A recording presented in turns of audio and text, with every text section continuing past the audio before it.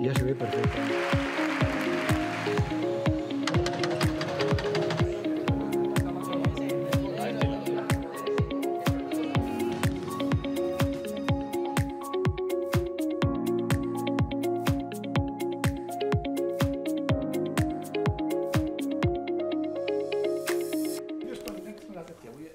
Nada, que ya están, ya están hablando, queridos amigos, ya están de tertulia y tengo la sensación de que en este programa va a ser especialmente animada y encendida, porque vienen como, como el ave, como una locomotora, a toda velocidad. Eh, gracias por acompañarnos en este miércoles, a ustedes que están ahí tras eh, las pantallas al otro lado, eh, para estar disfrutando, espero que sí, de un rato de conversación, de diálogo, de debate y, en definitiva, de algo de luz sobre los argumentos de la actualidad regional, especialmente.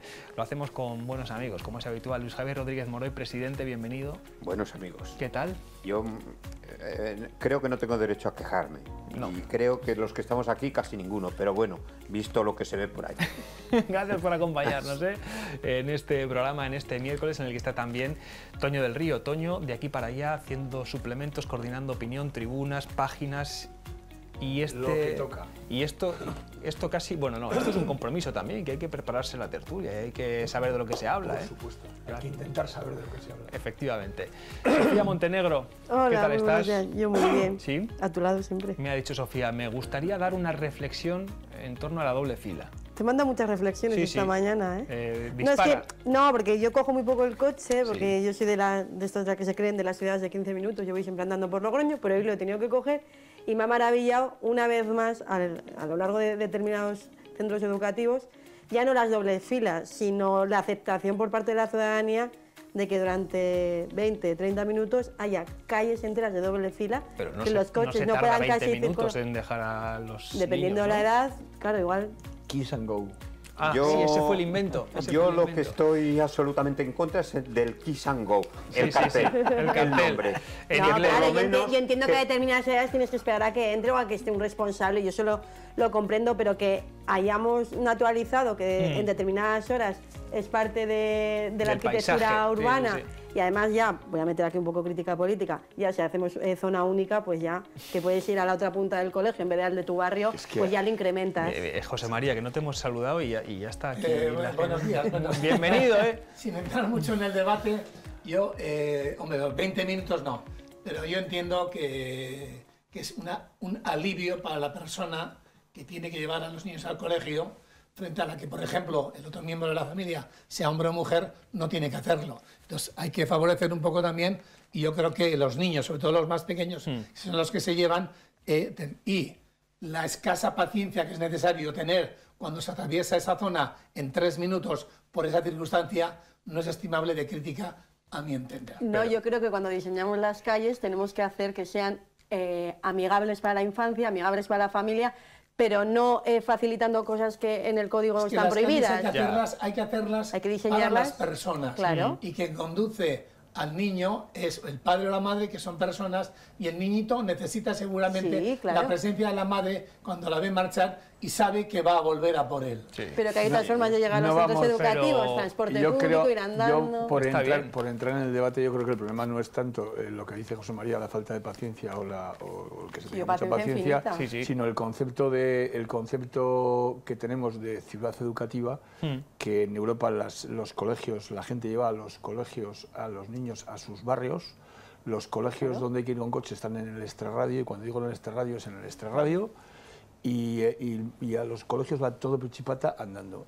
Eso no se concibe lo de que se prepare el Kiss and Go y se llame como se llame, o las dobles filas en la puerta de Que- escolapias, escolapios, maristas, etcétera, Que etcétera. eso es lo que a ti te Yo me niego a fastidia, entender ¿no? el El kiss and go. No, y que yo no estoy proponiendo eso, ¿eh? El- No, él- no, a él no, no, le ese es gusta el concepto. la palabra. No, Ah. no, no. Es el yo concepto. creo, El yo creo que sería imprescindible, llevas mm, eh, mm, parte de razón los dos, porque creo que sería bueno lo de que, el, que calara en las mentes de todos los que llevan a los niños el, el sistema del dale un beso y vete. Besa y vete, Vete. no kiss and go.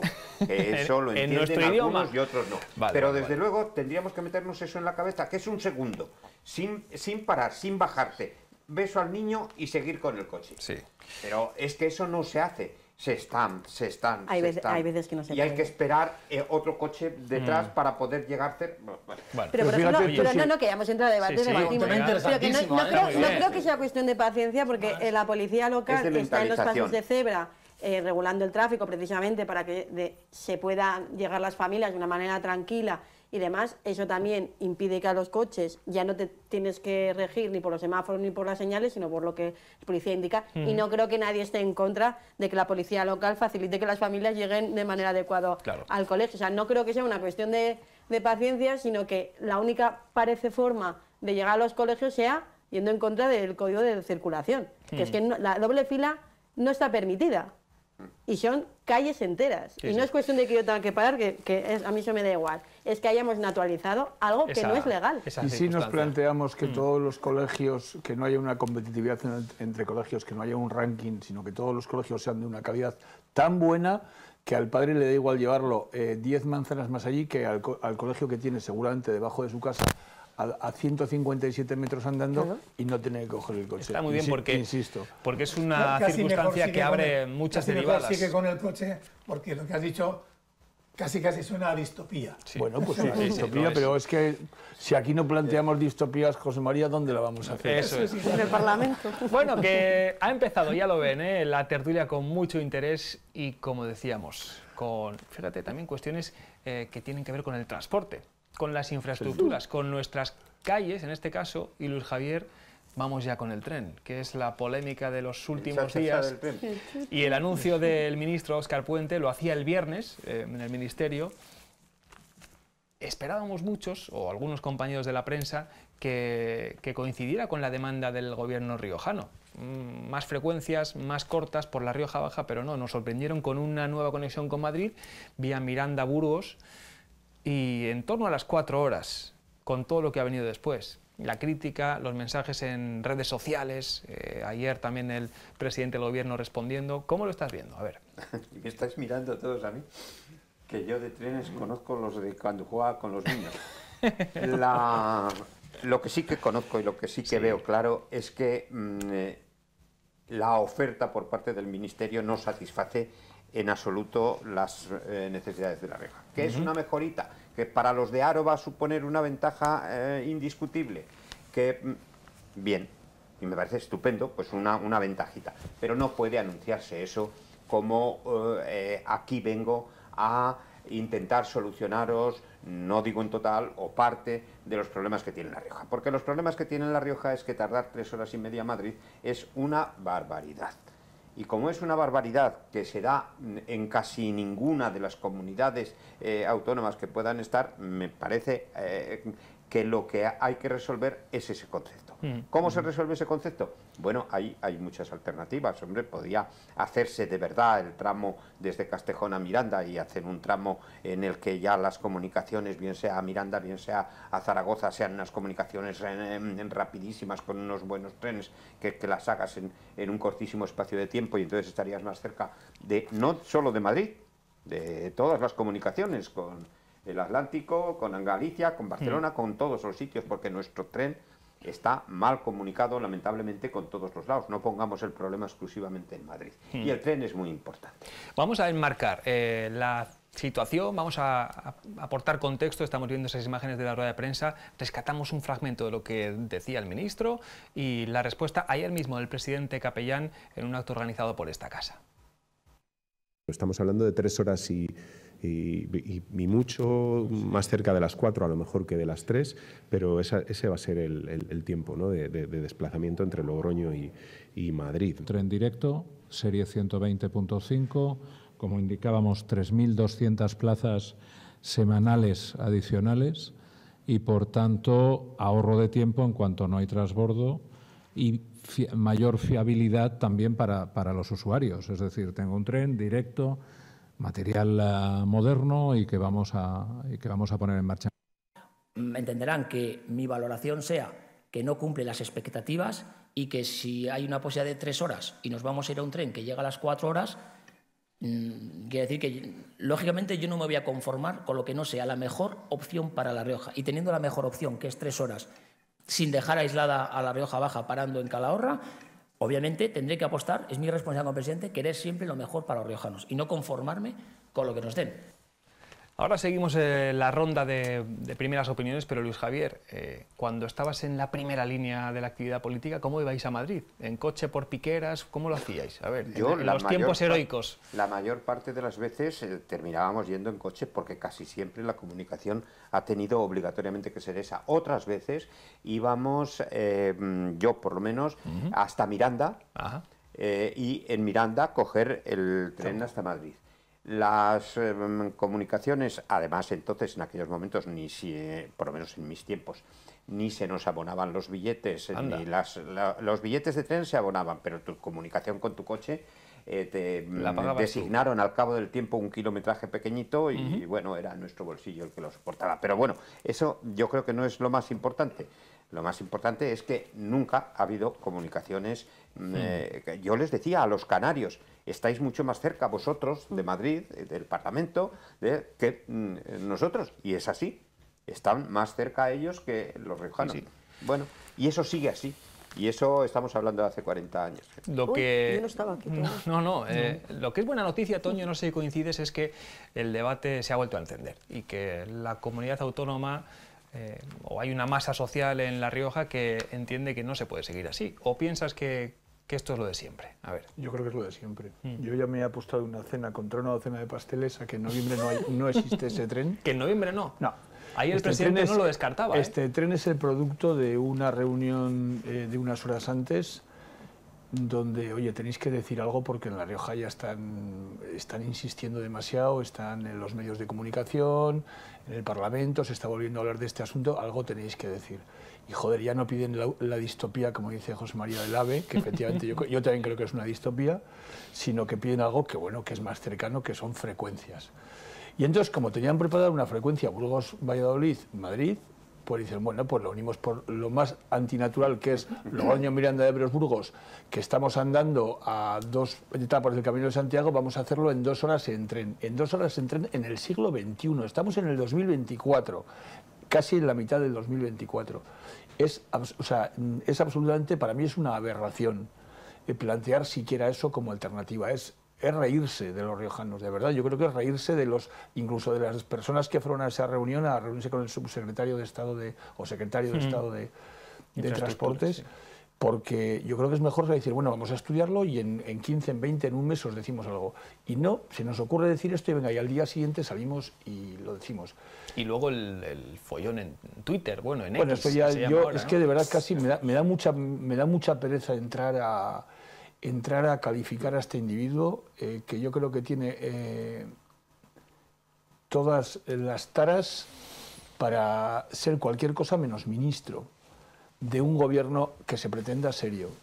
Y desde luego este señor no lo es. O sea, que salga diciendo a la primera de cambio, intentando contestar al presidente de un gobierno regional y luego a un medio de comunicación. Por cierto, que, me parece muy bien, estamos encantados. Que ahí está ¿no? la repercusión de, este periódico. Pero es que además lo curioso es que contestaban sin, sin, refutar nada de lo que el periódico decía, porque decíamos, otro tren. Mm. ¿Es verdad? Más lento. ¿Es verdad?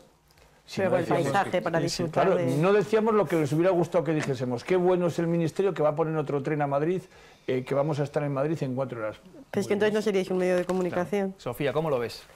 Yo como lo veo, que un poquito en la línea que estamos hablando, eh, además es que yo creo que una de las claves en este tema es que no hay una visión eh, estratégica de cómo está la comunicación, cuáles son las líneas o hacia dónde tenemos que acercar a La Rioja para que pueda eh, ir a otros medios de, bueno bien pero no, se no, se manifiesta porque, hace porque las soluciones que, se dan no se, no se dan desde una perspectiva eh, eh, estratégica porque cualquiera que esté en La Rioja no haría ese trayecto para acercarse a Madrid, iríamos por otros lados, o a través de Bilbao, de nuestro aeropuerto, de Vitoria, de otros sitios, pero no desde ese lado.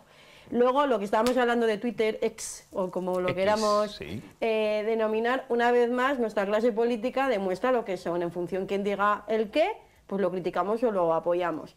Eh, hemos podido votar o no al presidente, pero que está defendiendo los intereses de La Rioja. Ha dicho, no niego esto, simplemente digo que nosotros no apostábamos por esta vía. Mm. Ahí hay ideología, no hay un presidente que está representando los intereses de su comunidad autónoma. ¿Qué creo que tendrían que hacer el resto de fuerzas políticas eh, parlamentarias? Haberlo apoyado, porque ahí no hay ideología, ahí, no hay matices de si la queremos más concertada o más pública, no hay, no hay matices, simplemente defender los intereses de La Rioja. Pero como son incapaces, ahora le ha tocado a él, desde mi punto de vista, hacerlo bien, pero que podemos poner otros ejemplos a la contra. Pero como hace tanto tiempo yo creo que se han alejado de realmente cuál es el objetivo de la política, que es la transformación de la vida de la ciudadanía para mejor, en temas tan trascendentales, tan poco ideológicos como este, no son capaces de ponerse, de acordar unos mínimos, es decir, en esto apoyamos al presidente. Como en la anterior legislatura a la presidenta le hubiese gustado que la apoyasen en otros temas, como puede ser la COVID. Entonces se, les olvida rápido, ¿no? Cuando necesitaban sus apoyos. Y este es un ejemplo más y ver pues a los eh, representantes políticos, en este caso eh, eh, especialmente del Partido Socialista, ver la crítica al presidente. ¿Por qué? Porque tienes que defender a un ministro que está yendo en contra de los intereses de tu ah, comunidad. Es que es...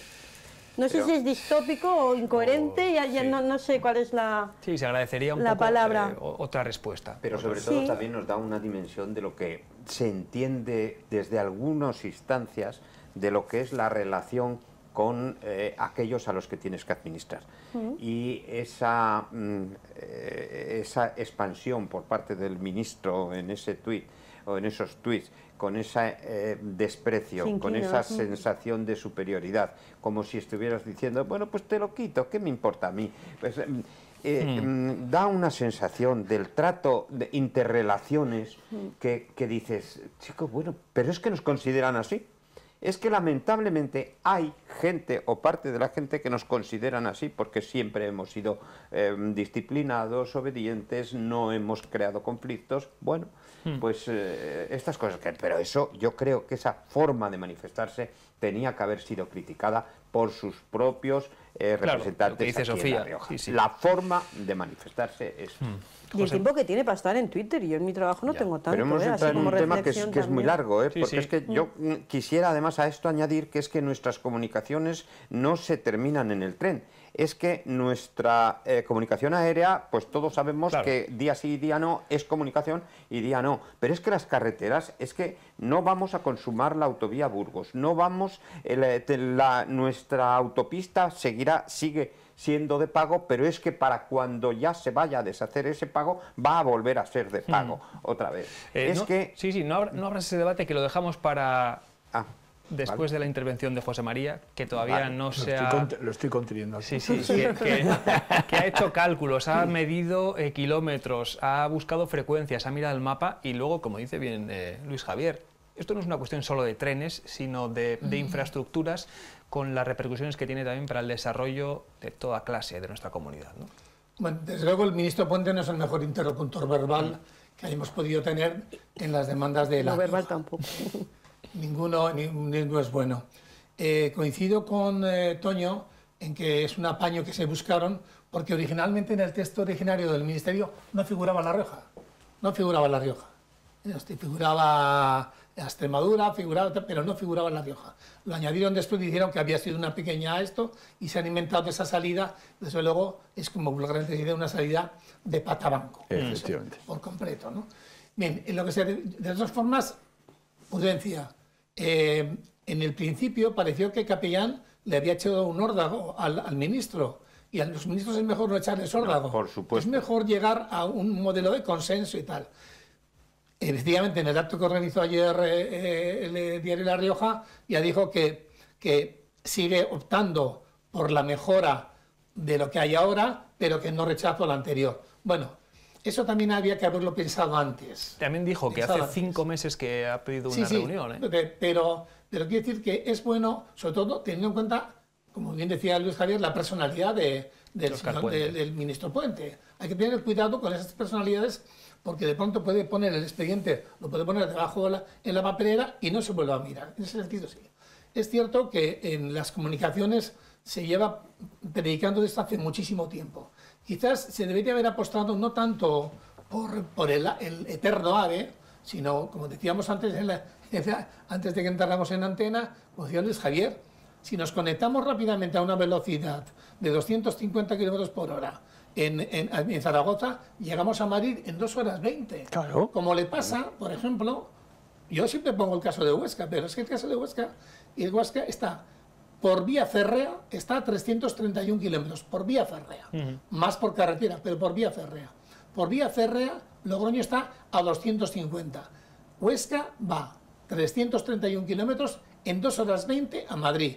Y aquí 250 en 3 horas y media. No tiene sentido. Algo falla. Falla, falla el rodante, falla la autovía, falla la, la vía, falla lo que sea. Pero claro, Y eh, esos viajes son con transbordo, entiendo. Sí, sí, sí. Sí, con Claro, Zaragoza, claro. Tienes es que bajar del tren y no, coger el que Hay bajar, alguno- hay alguno que directo y dos otros no. minutos, Ya. Dos minutos. Sí, porque están pensados precisamente para facilitar al, que viajero cuestión. claro. Sí, sí. Yo siempre añado que el, eh, hay que pensar, por supuesto, en las personas, hay que pensar en coser los territorios, que no siempre los trenes rápidos cosen los territorios, más consolidan elementos que ya consolidados como las ciudades, sino también las mercancías.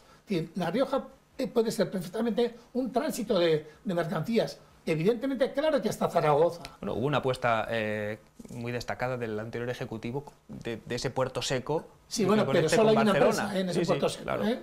Solo hay una empresa en No, ese una puerto empresa, seco. pero que contrata con muchas empresas. Es, Sí, sí, una, sí, sí. es una empresa que, Es- que hace... Pero me refiero que eso hay que consolidarlo. eso es esencial. Hay es que, que eso pensar, Sí, sí. eso, por sería una infraestructura... Claro, hay que pensar en Vital para La Rioja. Y, no olvidarse de mercancías. Cuando se pide AVE, por el AVE no van las mercancías. Ya.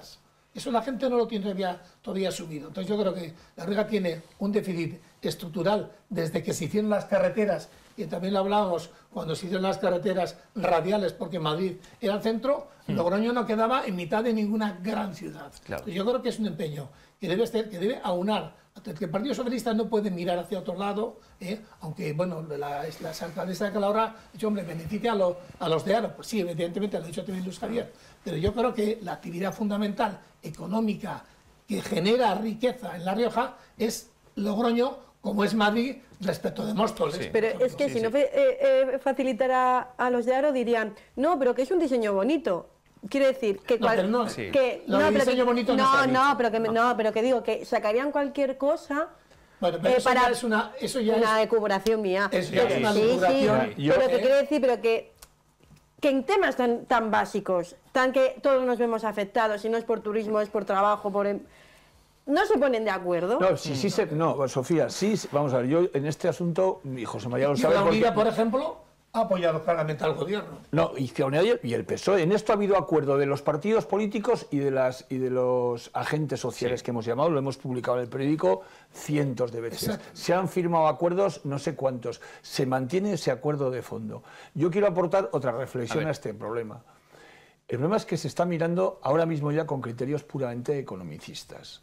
La Rioja con criterios economicistas nunca puede salir favorecida porque evidentemente eh, si no se atiende al factor social, La Rioja no es rentable para ninguna operadora eh, ferroviaria eh, y sobre todo si es solo para, para, para transporte de personas. Entonces, ¿qué ha ocurrido? Que cuando en La Rioja durante muchos años ha coincidido un gobierno primero popular y después socialista en Madrid y en La Rioja, el gobierno de La Rioja nunca se ha atrevido a ponerse Exigir. En ese caso sí que te puedes poner un poquito, un poquito jaque, cogerle de la oreja a tu ministro, A a, tu amigo, que seguramente es tu colega y que antes has sido tal, y decirle cuatro frescas y decirle, y esto me lo vas a solucionar, y lo, me lo vas a solucionar de verdad.